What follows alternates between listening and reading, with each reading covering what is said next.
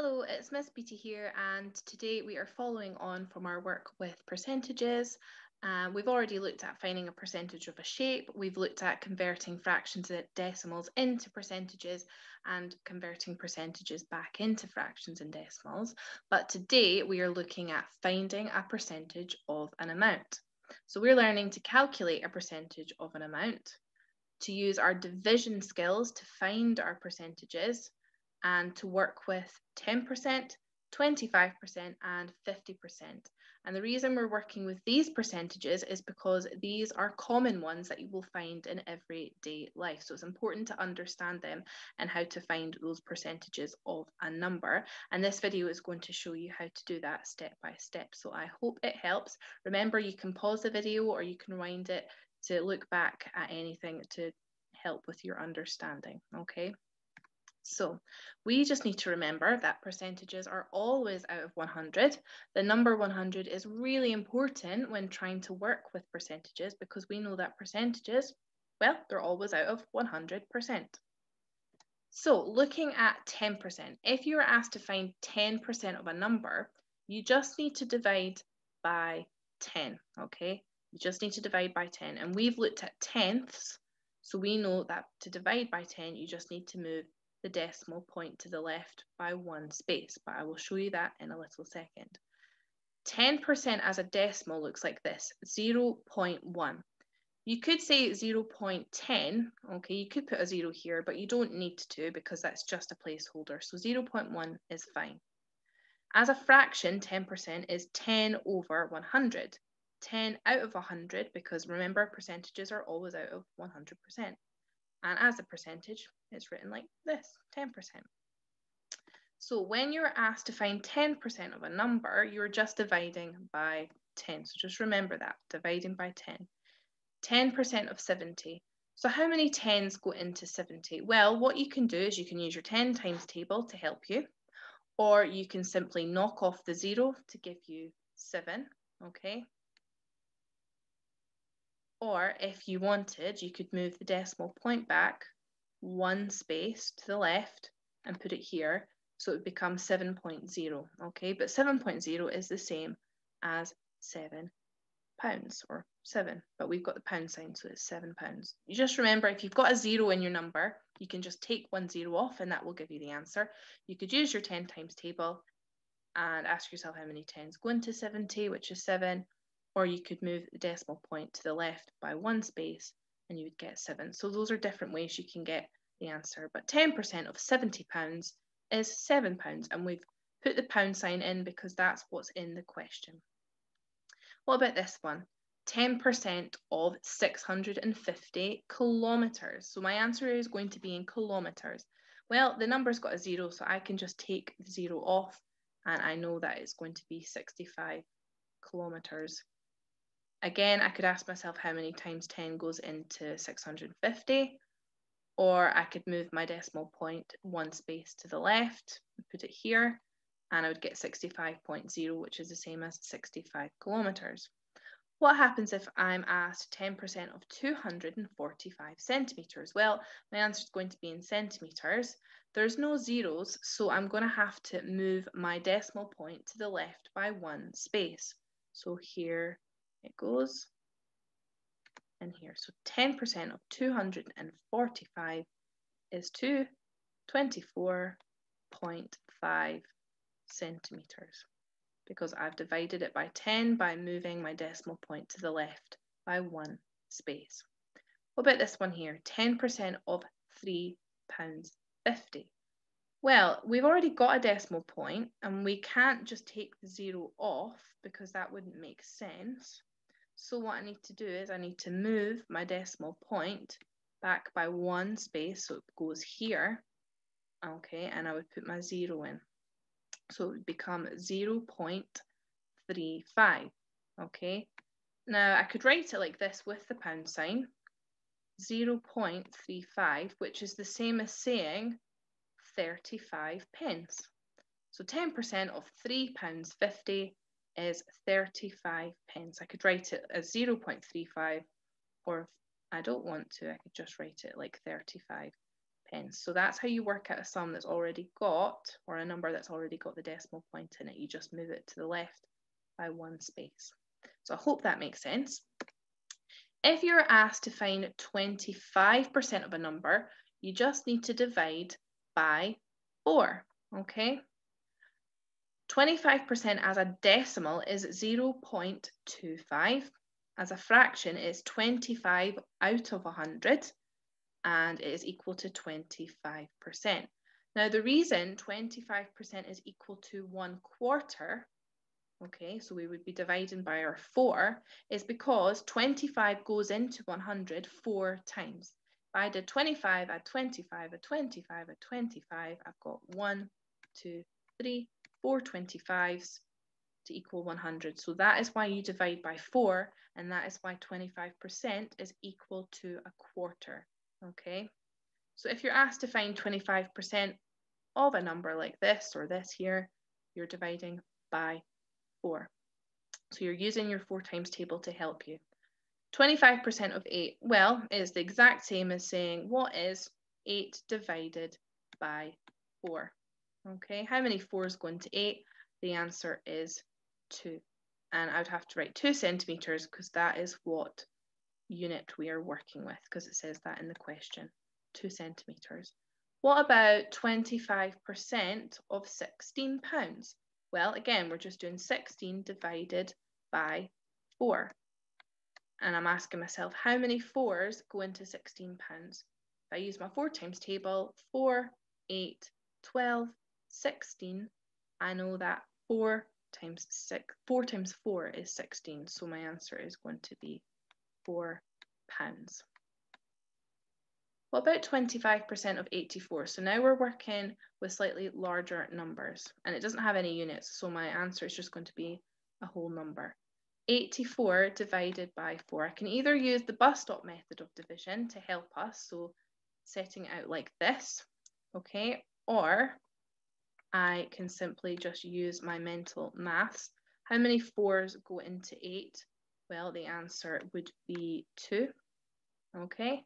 How many fours go into four? The answer would be one. And if I did that like a bus stop division, how many fours go into eight? Two. How many fours go into four? One. The answer to 25% of 84 is 21. Okay. For numbers that are three digits or larger than that, okay, that's when I would tend to use the bus stop method of division to help us, okay? So 25% of 456 meters.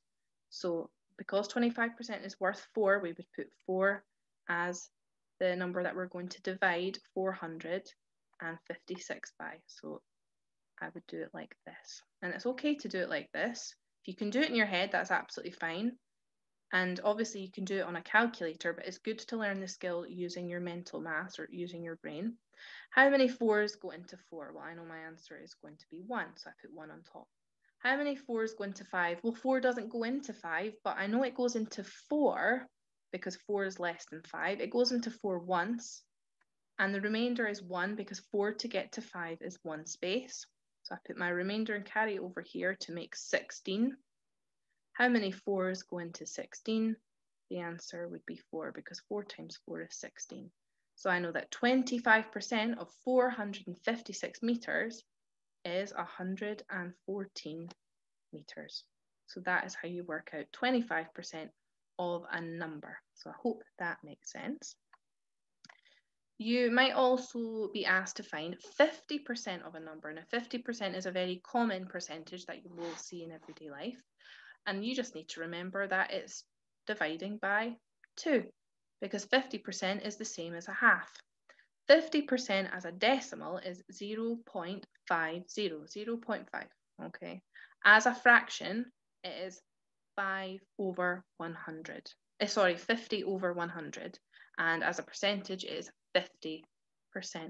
And 50% is equal to a half because a half of 100 is 50 and we know that 50 add 50 is equal to 100. So when you're asked to find 50% of anything, you are just finding a half of it, you're dividing by 2.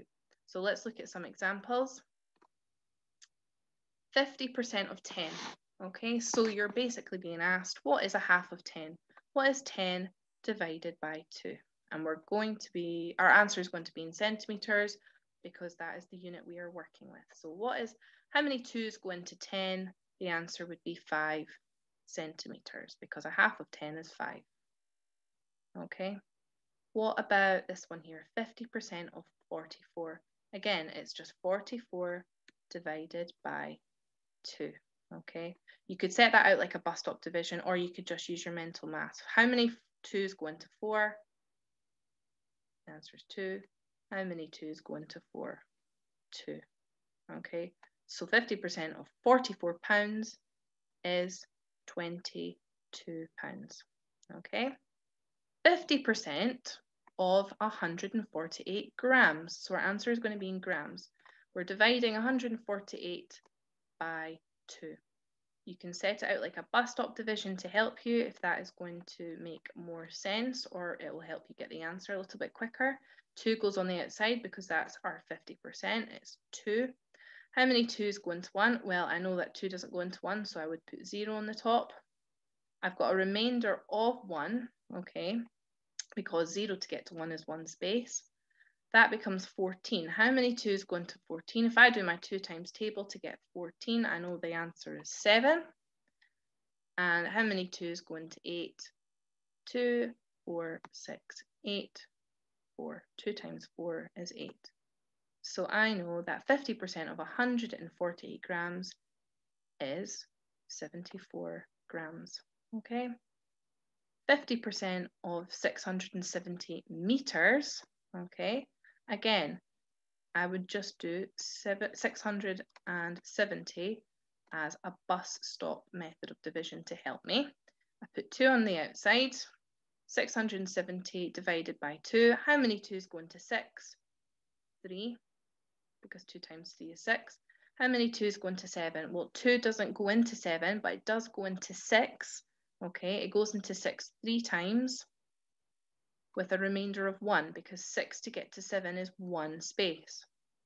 How many 2's go into our 10? The answer would be 5 because 2 times 5 is 10. Okay, so 50% of 670 metres is 335 metres. So I hope that makes sense. So 10% you're dividing by 10, 25% you're dividing by 4, and 50% you're dividing by 2. Okay. You will also be asked to find uh, quite well percentages within a problem solving question. So I'm going to just show you how you work these out. It's very similar to what we've just done, apart from it is a question that you need to read carefully before you show your answer or you're working. Mary saved up £450. She spent 50% of this money on a holiday to Spain. How much money did Mary spend on the holiday?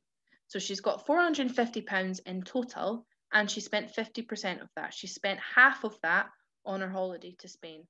So we want to work out how much of this money did she spend on going to Spain? So a half of 450 pounds.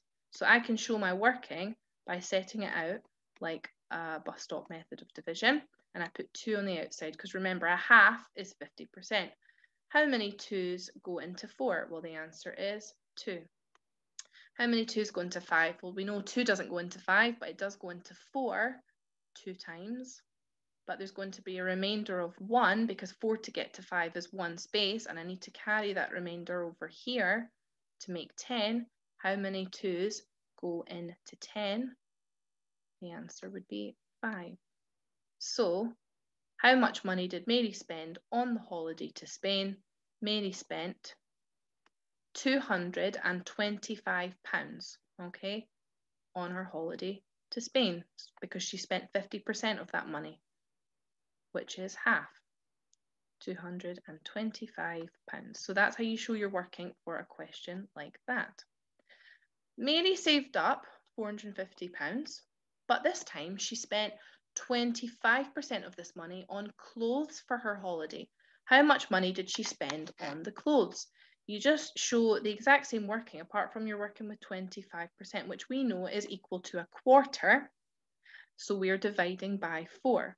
So you could set that out like a bus stop method of division. You could put your 450 pounds because that's what Mary started with. That's what she saved up, 450 pounds, and she spent 25%, a quarter. So we're dividing by four on clothes. So how many fours go into four? The answer would be one.